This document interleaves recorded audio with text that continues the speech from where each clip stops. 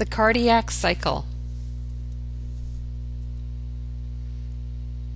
We're watching an ultrasound of an inverted heart as it beats.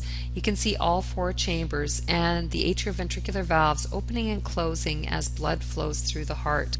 What causes the heart to beat in synchronicity like this? The atria contract, then the ventricles contract, then the whole thing rests for a bit, then once again the atria contract and the ventricles contract.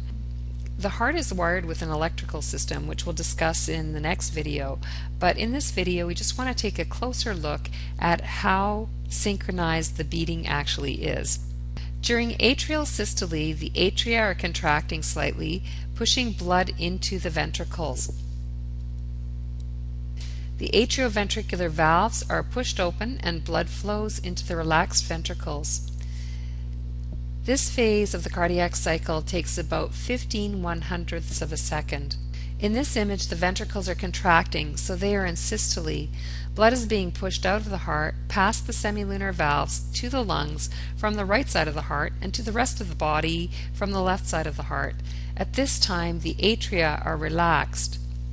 To prevent backflow into the atria, the atrioventricular valves snap shut.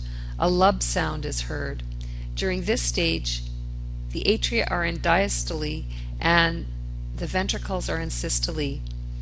This phase takes about three tenths of a second. After the ventricles contract, the entire heart enters a state of diastole, where no contraction is occurring. Blood flows passively from the atria to the ventricles. This lasts for about four tenths of a second. Then the whole cycle starts again. Because there is reduced pressure from the ventricles, the blood that's entered the aorta and the pulmonary arteries tends to backflow. The semilunar valves prevent this from occurring so that the blood continues to flow in one direction only. In this video, we've had an introductory look at the rhythmic coordination of heart movements and how this causes blood to flow effectively through the heart. In the next video we'll take a look at the electrical system that coordinates this movement.